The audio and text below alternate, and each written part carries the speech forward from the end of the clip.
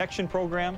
He testified against Harry Aleman, so did the accomplice. Harry was convicted, and today he's spending the rest of his life behind bars. That is the power of corroborating evidence in a court of law. The question is, do we have any corroboration for the New Testament of the Bible? Do we have any evidence outside the Bible that corroborates what the New Testament tells us about Jesus?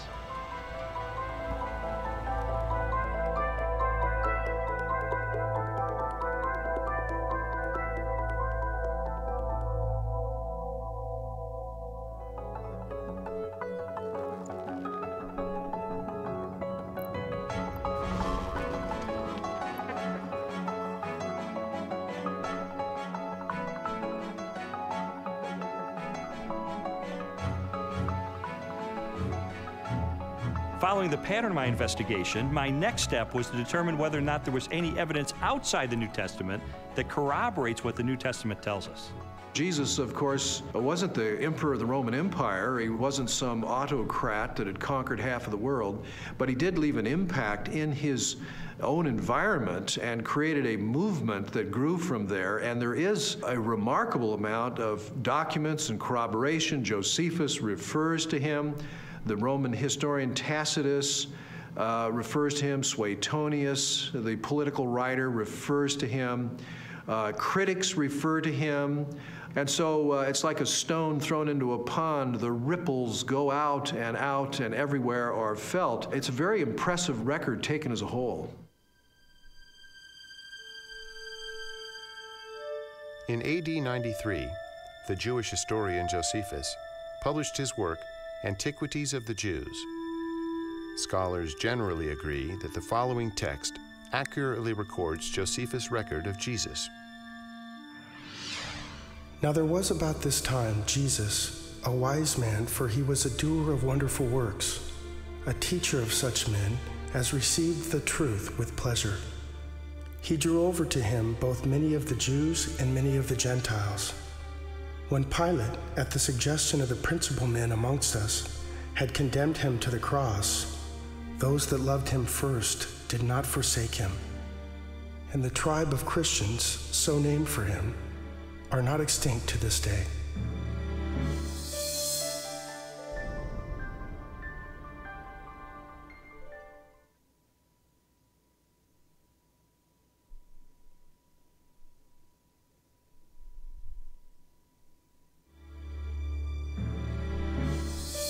In a court of law, the rebuttal case is an opportunity for the other side to present their evidence. Well, in recent years, there's been a proliferation of books and articles about the so-called Gnostic Gospels. And I wanted to figure out, does this represent the mainstream of academic scholarship? The Gnostic Gospels are a collection of religious writings from the second and third centuries. They blend the teachings of Jesus with a variety of ancient philosophical beliefs. According to the tenets of Gnosticism, the universe was the creation of a flawed and wicked God. Therefore, all matter was evil. Salvation from this world could only be attained through secret knowledge about the spiritual nature of man. There's been a lot of talk about the Gnostic Gospels, the Gospel of Mary Magdalene, the Gospel of Philip, the Gospel of Thomas. These documents are almost universally recognized to be much later than the New Testament Gospels and not to record uh, historically reliable material related to Jesus. Well, the New Testament Gospels give us a portrait of a early first century Palestinian Jesus of Nazareth. The Gospels from the second century, which are mostly Gnostic Gospels, such as the Gospel of Judas, or the Gospel of Thomas, or the Gospel of Philip, or the Gospel of Mary, they give us a very different Jesus. Now, you can pick and choose if you want. You can say, well, I like the second century Gnostic Jesus better. Others might want the early first century Palestinian Jesus. But if you're going to be a scholar about it and you're going to talk about, well, which Gospels really do give us earlier traditions that more reliably reflect the actual historical Jesus, you got to go with the New Testament Gospels every time. There's a view among some that there were all of these different competing views of Jesus Christ and that the one that won out became the orthodox perspective of Christ um, reflected in the Gospels. Um, all the evidence runs contrary to that. Jesus was a first century Jewish teacher um, who revealed and demonstrated himself to be the Messiah. Uh, that's the presentation we get in Matthew, Mark, Luke, and John, the New Testament Gospels. Uh, these later Gospels, these Gnostic Gospels, um, present a very different Jesus, almost a Greek philosopher, an esoteric Gnostic Jesus. It's clearly not the authentic historical Jesus. What I've come to discover is that the Gospels in the New Testament, Matthew, Mark, Luke, and John, are our best sources for Jesus. And I've also found that they are reliable and that from these sources we can form a picture that I believe is very accurate that tells us about Jesus, what he taught, how he was perceived by his contemporaries, and what his life was really all about. Everything from Jesus' parables to his healings to his controversies to his warnings and all of that, the reason they were telling this stuff is that not just it was good advice for them in their own day, but that it actually mattered that it actually happened. And if it hadn't happened, you're into a totally different worldview, a worldview which is about ideas, which is about self realization, hugely popular in our culture just now, discovering who I really am. You know, for goodness sake, Jesus didn't come to help me discover who I really am. He came to tell me who he knew I really was and to do something about it. And that's much better news.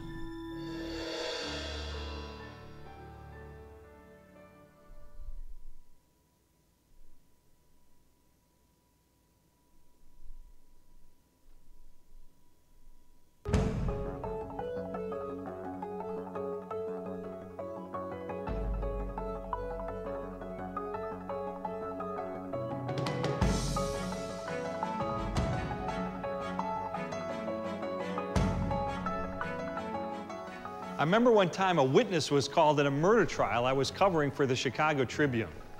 He was supposed to testify that he had seen the defendant shoot the victim. But instead, he shocked everybody by saying, I shot him. Later, the defendant got in the stand and said, Yeah, that's right. He shot him, not me. Suddenly, the jury had two conflicting stories. Prosecutors had strong evidence that the defendant was guilty. But now there was another version of events that flatly contradicted that.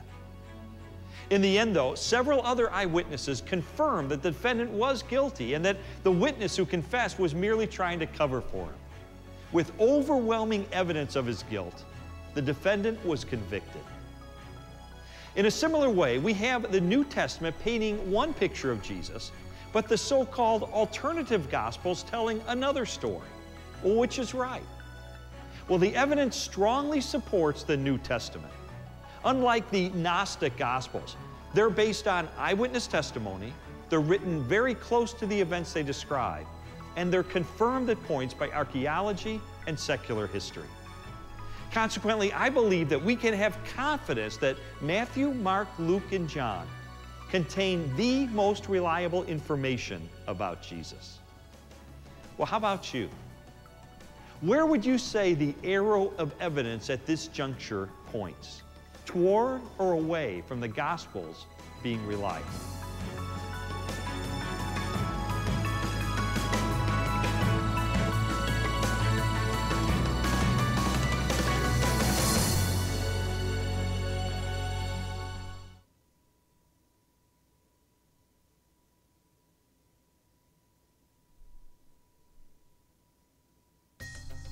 It was one of Chicago's most infamous murders. Eight student nurses were slain in an apartment complex more than 40 years ago. The murderer fled the scene, threw his weapons into the river, and sought treatment at a hospital for some injuries. He thought he could get away with the murders because no one had seen him commit the crime. But his plan unraveled when it was revealed that a ninth nurse had hidden under a bed witnessed the killings, and was able to give police a description of the killer. Police distributed a sketch based on her account, and an emergency room physician who was treating Richard Speck was able to identify him as the slayer. Ever since Scotland Yard first disseminated the drawing of a murder suspect in 1889, sketch artists have been taking the recollections of witnesses and creating a likeness of the suspect. Most sketch artists today have been replaced by technology, as many police officers are trained on computer systems to create photo-like images of criminals.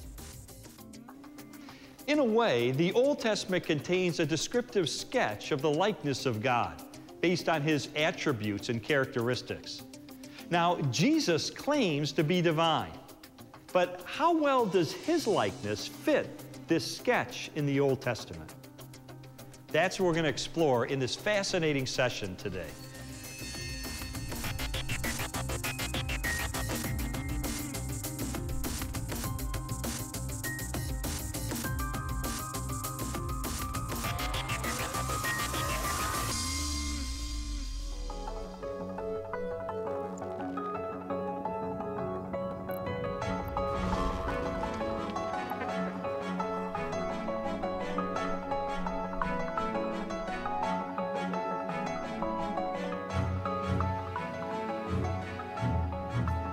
In addition to the claims that Jesus makes about himself in the New Testament, there are also reports that he performed the miraculous, that he walked on water and healed the sick and turned water into wine and, and raised the dead and did exorcisms. And so I had to know uh, is there evidence that these miracles are a result of his divine nature? Jesus' contemporaries, that is, people who liked him, people who were indifferent, neutral, and people who opposed him all acknowledged he did extraordinary things. Now, of course, the people who liked Jesus and believed in him and followed him said Jesus did these powerful works because of the Spirit of God. People who opposed him would say, Well, I admit he does these amazing things, but it's because the devil is helping him. The Talmud actually speaks of some of these things. It, in some of the passages that deal with Yeshua, it has him as a, well, a magician. And why do they describe him as a magician? It's, it, it's not flattering. There's a historical recognition here that when Yeshua came, he did miracles, just as Isaiah 35 indicates in the Messianic age, when the Messiah comes, he'll be able to make the blind see and the lame walk. The New Testament Gospels record at least 40 separate miracles performed by Jesus during the course of his ministry. They include healings, exorcisms, mastery over nature, and even raising of the dead. Christian theology has always held that these miracles are part of a total picture that displays the attributes of God Himself unlimited power, total knowledge, ever present, unchanging, eternal. There's no question that the biographies of Jesus describe him as a worker of mighty deeds. But I wanted to know does this make him any different than the other miracle workers and magicians of the ancient world? Miracle workers that we find occasionally in the first century uh, are magicians. They use incantations, they use spells, they, they try to coerce um, gods or divine figures to work on their behalf. That's very different than Jesus' miracles. Jesus' miracles were to demonstrate the power of the kingdom of God. When he healed the sick, he pointed back to Isaiah's prophecies that when God's kingdom would come, when God's salvation would come, the lame would walk, the blind would see. This was the demonstration that God's kingdom was arriving. He's an exorcist. You don't find any of those in the Old Testament. People were not looking for messianic exorcists. He carves out his own niche, he reveals his identity in his own way. It becomes clear that he is somebody who can take on the powers of darkness himself and win. What kind of person is that? And he doesn't have to use recipes and formulas like other ancient exorcists. He can just call the demon by name and that boy's out of there. One of the most astonishing things that Jesus did was when he claimed to forgive sins. In Mark's Gospel, chapter 2, a man is brought to him uh, paralyzed man, and the crowds around him are expecting Jesus to heal him. But instead, the first thing Jesus said is, Your sins are forgiven. Only God forgives sins. Now, some might say, well, Jesus may have been forgiving sins on behalf of God. But in fact, that's not the way his listeners understood him, because immediately the religious leaders responded to that. Who is this that forgives sins? Only God forgives sins, they claim. But Jesus claims the ability to forgive sins. And that to confirm that he has that authority, he then heals the man.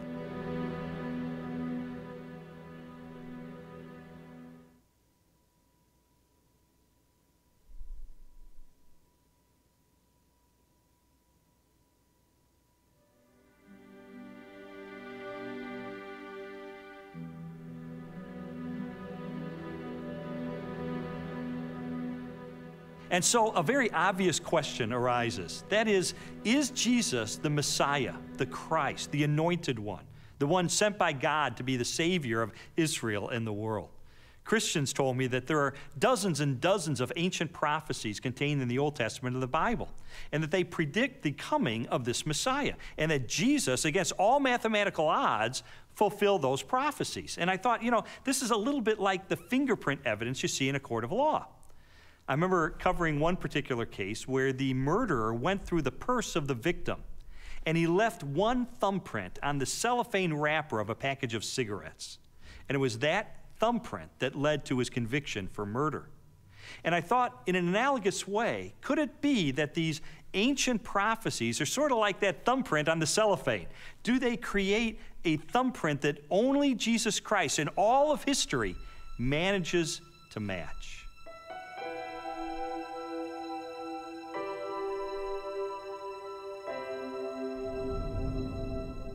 This is Yeshayahu 53:6 or Isaiah 53:6.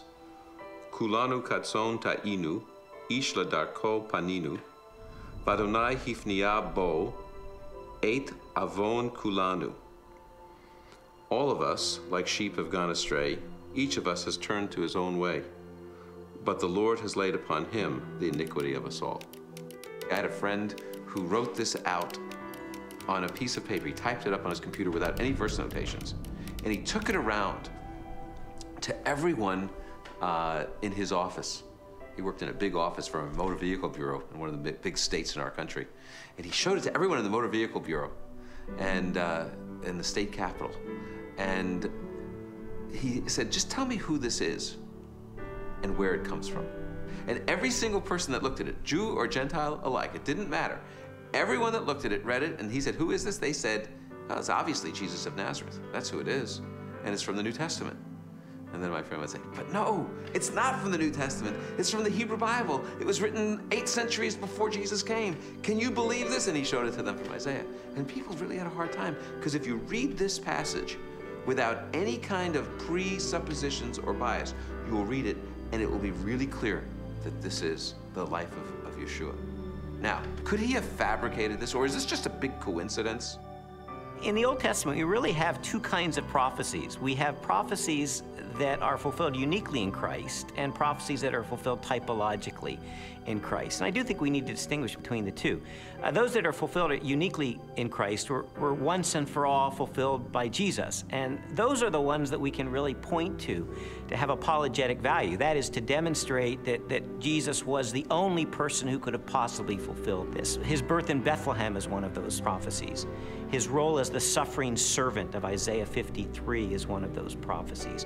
His entrance into Jerusalem on a donkey from Zechariah chapter 9. These are clear evidence that Jesus is fulfilling the Old Testament.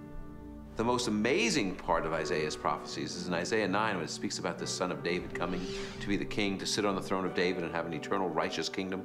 And everyone knows it from Handel's Messiah. Unto us a son is born, unto us a child is given. And the idea of this verse is that the Messiah will actually be born, physically born. And then it says, And his name shall be called Wonderful Counselor, Mighty God, Father of Eternity. In other words, he's the creator, the author of time. Some skeptics have said that Jesus could have engineered the fulfillment of these prophecies. Of course, Jesus could not have determined where he was going to be born, so to be born in Bethlehem, obviously he could not have engineered that. Also, as the suffering servant, it would have been difficult for him to engineer such a specific fulfillment of Isaiah 53. But on the other hand, uh, the fact that Jesus performed certain actions that in fact fulfilled prophecies only demonstrates that he was indeed the Messiah. Um, anyone who enters Jerusalem riding on a donkey in obvious fulfillment of Zechariah 9:9 is saying, Yes, I am the Messiah. So we certainly have a glimpse in that fulfilled prophecy of the self consciousness of Jesus, that he truly believed that he was the Messiah. Scholars have determined that Jesus fulfilled at least four dozen major prophecies, each written a minimum of three centuries before his birth. Their content ranged from specific details about his life to the symbolic implications of his death. Psalm 22 gives a poetic picture by David, written in the first person, of what the Messiah will be like in his suffering. And one of the things he says is that they will pierce my hands and my feet.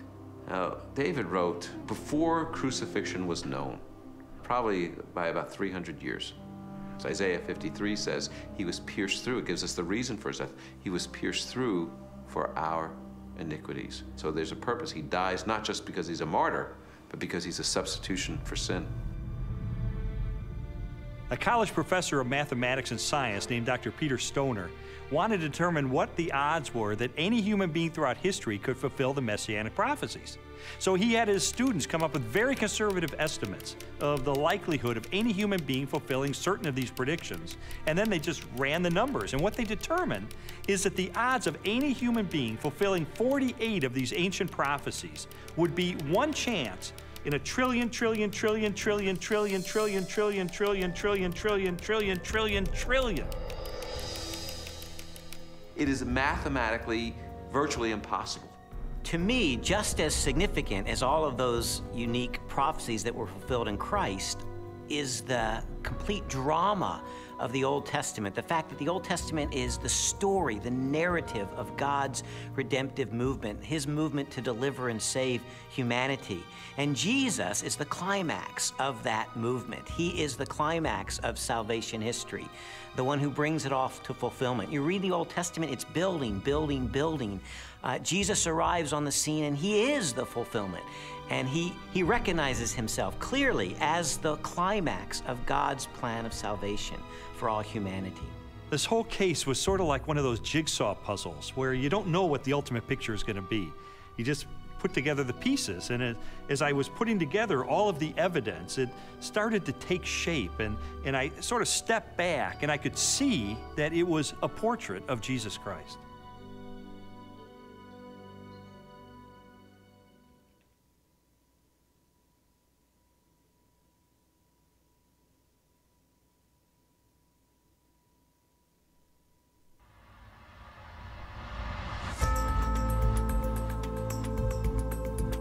Clarence Hiller spent the day painting the white trim on the outside of his house on West 104th Street in Chicago. Later that night, he was killed inside his house by an intruder. The Chicago police arrested a suspect, but they needed more evidence. As they searched the crime scene, they determined that the killer had entered Hiller's house through a rear kitchen window. Upon closer examination, they found what they needed. Outside, forever imprinted on the white paint that Hiller himself had applied just hours before his death, detectives found four perfectly preserved fingerprints that led to the suspect's conviction. The year was 1910, and this marked the first time that fingerprint evidence had ever been used to convict someone of murder in the United States. In an analogous way, the dozens of prophecies contained in the Old Testament of the Bible foretelling the coming of the Messiah, form a kind of fingerprint that only the Messiah could fit. And Jesus Christ, and Jesus Christ alone, against all mathematical odds, is the only one in history who matched this prophetic fingerprint. To me, this is powerful and persuasive evidence that he is the predicted Messiah of Israel and the world. How about you? At this point in your journey, where would you say the evidence points? Toward or away from Jesus being the Messiah?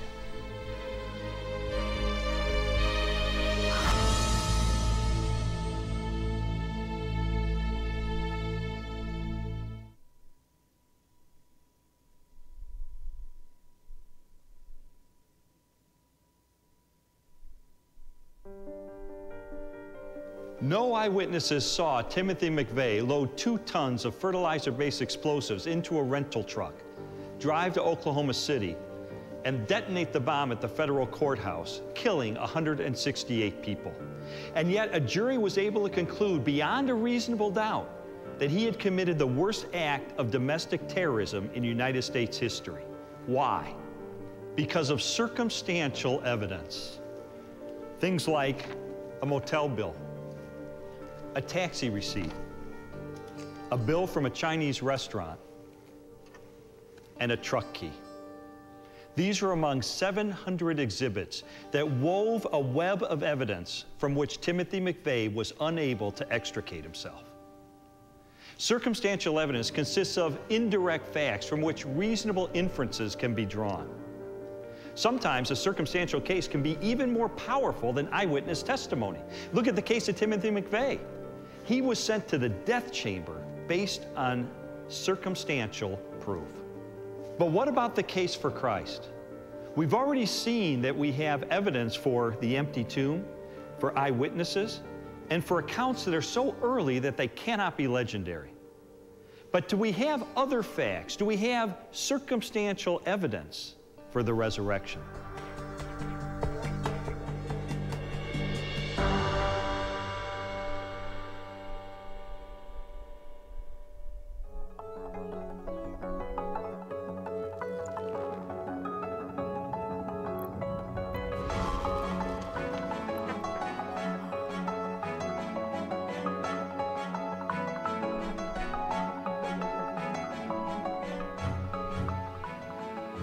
Have the empty tomb, we have the eyewitnesses, we have the early accounts. The question is are there any other additional facts, circumstantial evidence, to support the resurrection? While the Apostle Paul described hundreds of eyewitnesses to the resurrected Jesus, the full impact of the event is perhaps best measured by the subsequent growth of the early Christian church in the face of intense persecution. Even the most critical, skeptical scholars recognize that the earliest disciples at least believed that God had raised Jesus from the dead. In fact, they pinned nearly everything on it. Without belief in Jesus' resurrection, the early Christian movement could never have come into being. They recognized in Jesus something special, but they, they wondered if they were mistaken when he, when he died. They didn't anticipate that. Suffer maybe, but die at the hands of Pontius Pilate, the Roman governor? In fact, even when the first reports of his resurrection reached their ears, they were still doubtful and skeptical. But when they met the risen Lord, their skepticism was transformed into a very confident faith, a great joy, and a determination to preach the good news to everyone else. And I think that's the part that's awfully hard to refute because we have this turnabout, this transformation of a discouraged and bewildered following on the basis of the good news. Somehow you have to explain the explosion from scared followers who run away to let's worship him, let's sing to him, let's pray to him. If there was no resurrection, and more to the point, if there was no resurrection appearances of Jesus, to those who doubted and were discouraged and denied and betrayed Jesus, we would not be sitting here talking about this today. Other messianic figures had risen in the past, had claimed to be somebody, um, and had been suppressed and killed by the Romans. Um, yet no movement arose around those dead messiahs. But these disciples of Jesus um, were willing to go to the ends of the earth proclaiming the gospel message, were willing to suffer and die for that. The transformation from a bunch of defeated cowards to boldly, fearlessly proclaiming the gospel, even to the point of death, to me confirms that something happened on that first Easter morning. I have worked much harder, been in prison more frequently, been flogged more severely, and been exposed to death again and again. 2 Corinthians 11:23. After Jesus' crucifixion, the disciples lived lives of hardship for 20, 30, 40 years, suffered greatly in their ministries, and eventually suffered martyrdom and execution without recanting for their belief that they had seen Jesus risen from the dead. I mean, what were they gaining? Were they becoming rich? They're running around the countryside. They're, in some cases, abandoning their family for periods of time so they can preach. What they got for their efforts is death in many cases.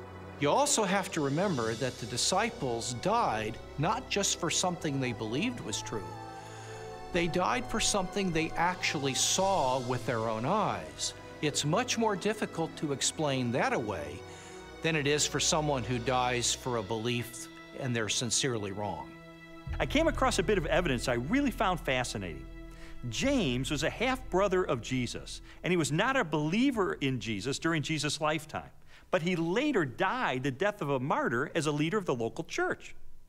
In a similar way, Saul of Tarsus was a persecutor of Christians, and yet he later becomes the Apostle Paul, this incredible missionary. So I had to ask myself, what led to this radical transformation of these skeptics? Sometimes people will come to believe something they wish to be true. If you believe hard enough that a person is loving and kind, you can talk yourself into believing that, even though the person is not loving and kind. It's very, very difficult, however, to explain people coming to believe something that they're actually standing against. Now, in the case of James and Paul, they did not believe in Jesus before his crucifixion. In fact, they thought he was deranged, and they did not accept what he said and what he taught. James, the brother of Jesus, is a skeptic who doesn't come to Jesus until he meets the risen Lord. Critics allow that. Paul's a persecutor till he meets the risen Jesus. That's not the kind of testimony of someone who all gets together and say, hey, let's just uh, cook this thing up. One of the certainties, it seems to me, related to the testimony of the apostles is that they truly believed uh, that Jesus was who he claimed he was, and they truly believed that he had risen from the dead um, because they were willing to die for that. Very few people are willing to die uh, for something they don't really believe in, or something even worse that they know to be a lie. When Jesus was executed, his disciples were rightly afraid. They scattered, they were fearful for their own life. Their hopes had been dashed because they had believed Jesus was the promised one who was going to usher a new day in for Israel. Turned out he wasn't because he was murdered by crucifixion under the authority of the Roman Empire. And yet, shortly thereafter, we find them taking a stand in Jerusalem proclaiming that Jesus was the Messiah, the very Son of God. How do we explain that? How do we explain the fact that they were even willing to propagate this the rest of their lives and go to martyrs' deaths for their belief? The only rational explanation is that something happened to them between the death of Jesus and three days later. And according to their own words, it was that they saw Jesus risen from the dead for themselves.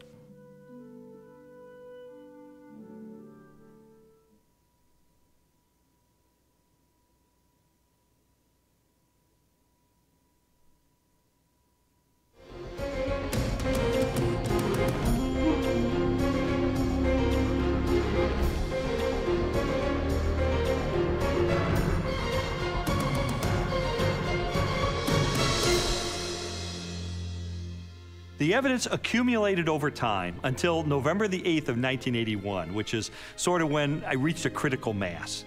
I remember going alone in my room and I took a yellow legal pad and put a line down the middle. And on one side, I started to list all of the evidence I had encountered for Jesus Christ being the Son of God. And on the other side, all the negative evidence against that. And I, I wrote and I wrote page after page. And finally, I put my pen down. I said, wait a minute. In light of this avalanche of evidence pointing toward the truth of Christianity, it would require more faith for me to maintain my atheism than to become a follower of Jesus Christ. And so that's the moment that I decided, consistent with the evidence, the most logical, the most rational step I could take was a step of faith in the same direction the evidence was pointing and put my trust in Jesus. And uh, after I did that, I thought, you know, maybe Leslie would like to hear about this. I thought it was too good to be true. My heart was pounding. I was in tears. I was so excited. I just threw my arms around him and kissed him and hugged him and told him how I'd been praying and how lots of people had been praying that this day would come. She threw her arms around me and she said, You hard hearted son of a Baptist, she said, I've been telling you this for two years. I mean, come on. And that began a transformational process for me, where over time, my philosophy and my attitudes, relationships, parenting, uh, worldview, all of that began to change over time for good, really for good. When Lee became a Christian, his whole life started to change to the extent that our five year old daughter, who also saw those, those changes, went to her Sunday school teacher and told her that she wanted Jesus to do in her life what he had done in her daddy's life. Jesus said, You shall know the truth, and the truth will set you free. And you know, that's my story. It was someone who said, I'm going to investigate this stuff with an open mind, let it take me wherever the evidence will take me. And what I discovered in the end is Jesus made the claim that he is the truth, that everything hinges on his identity. In fact, everything hinges on the resurrection. Because anybody can claim to be the Son of God. If Jesus really did return from the dead, then he is who he claimed to be, and that changes everything. But what about your own journey? I'd really encourage you, if you've never done it, to investigate the evidence for yourself, but make three resolutions up front. Number one, make it a front burner issue in your life. Number two, resolve to have an open mind, to go wherever the evidence takes you, even if it takes you to the very uncomfortable conclusion that Jesus is who he claimed to be. And then finally, resolve that once the evidence is in, you will reach a verdict in the case for Christ.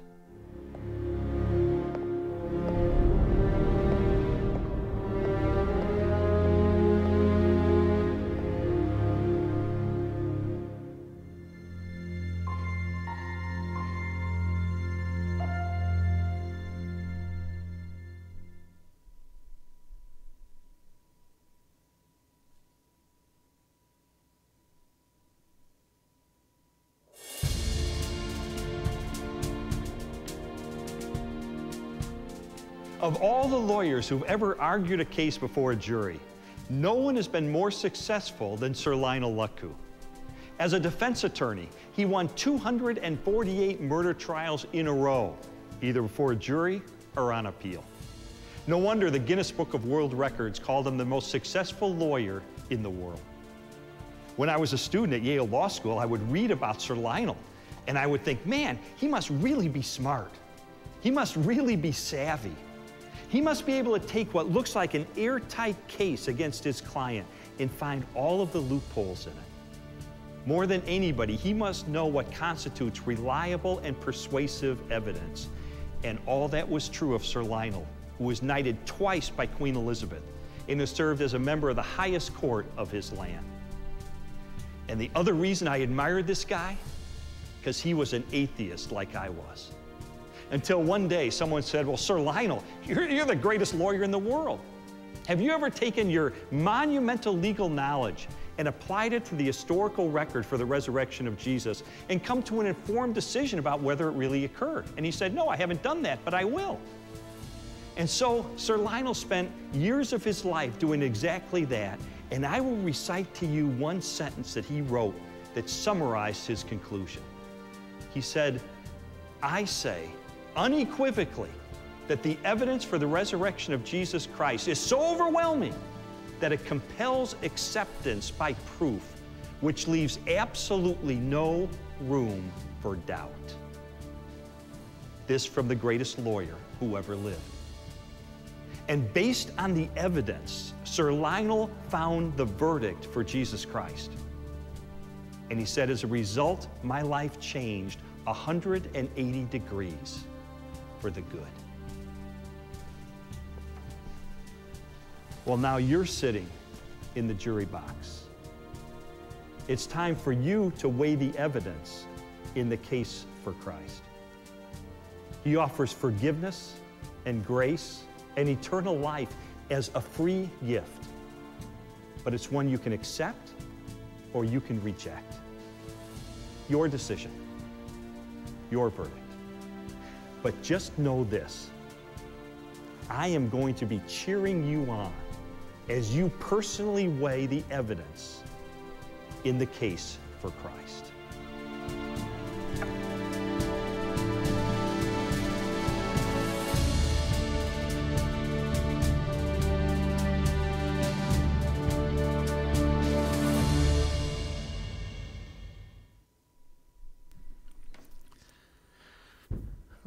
So there is a whole lot of evidence uh, pointing toward uh, Christ and His resurrection, and uh, and in that the reliability of Scripture. Uh, we can have uh, hope, and we can trust what uh, the Bible says. And I just wanted to read read one verse, and then then we can go home. actually, I take that back. We're going to read a, a few verses but in one scripture uh, first peter chapter 1 we've, we've read these verses before as we've been looking at why do we believe that the bible is reliable uh, verse 23 being born again not of corruptible seed, but of incorruptible, by the word of God, which liveth and abideth forever. For all flesh is as grass, and all the glory of man as the flower of grass. The grass withereth, and the flower thereof falleth away, but the word of the Lord endureth forever. And this is the word by which the gospel is preached unto you uh, we can trust, based upon all of the uh, all the evidence, we can trust that the Bible is reliable. And uh, without evidence, uh, we still can trust. Uh, the evidence, I, I believe, uh, is is overwhelming, but but we have to have faith. And faith is is the substance. It is the evidence of things not seen and uh, all of those evidences that, that he was pointing at uh, is great but the best evidence that i can tell you is this book has changed my life. And uh, if you have been saved it has changed your life as well. Uh, 2000, at 2000 years after the last uh, last sentence was uh, was written down this book still is alive today. And we can we can count on it we can trust it we can believe it and uh, so I hope uh, I hope you believe it. Any questions or comments? I just think it's interesting that he was an atheist and he set out to prove his wife wrong when she became a Christian. Yep. So he, he had the mindset that she's crazy. She's, I'm going to show her how crazy she is. And then he ended up becoming a believer. Yep. And there's there's several people who uh, have have tried to, to read through the Bible and find uh, its errors and its inconsistencies, uh, and then they end up believing in Jesus, and uh, that's that's what the Word does. Uh, faith comes by hearing, and hearing by the Word of God. And uh, so, if, if, people would just just sit down and, and read it, and, and as he said at the end, with an open mind thinking maybe I am wrong about what I believe. Maybe I am wrong for being an atheist or an agnostic. And uh, by the end, the evidence is clear. Jesus is real. Uh, the God's word is is fact, and, uh, and we can trust it. All right, thank you all for being here tonight. Let's stand up, and uh, we'll be dismissed in prayer. Uh, don't forget uh, Wednesday evening youth group at six thirty, and and then don't forget your baby bottles next Sunday, Father's Day. All right. We'll be dismissed in prayer. And I'm going to ask Richard, if you would, to dismiss us today.